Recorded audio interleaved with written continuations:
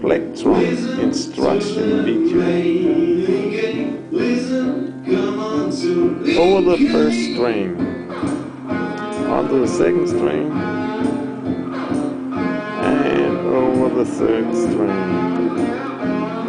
And the trigger is the third string.